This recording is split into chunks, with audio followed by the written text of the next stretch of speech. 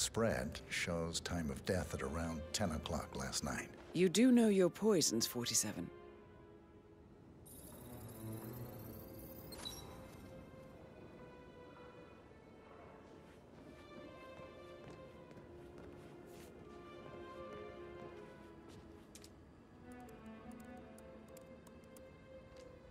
Zachary was shopping for new Wellingtons last night. Not exactly what you would expect from someone suicidal. Zachary's suicide note. Also, a sample of handwriting. It could be relevant to compare to other samples to establish its authenticity.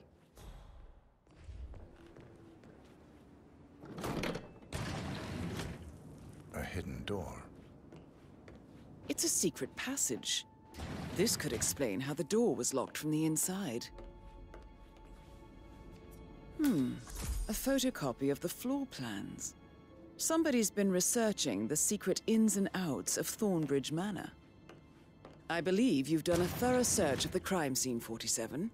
Maybe it's time to see the butler. I'm curious about the information he's prepared for you.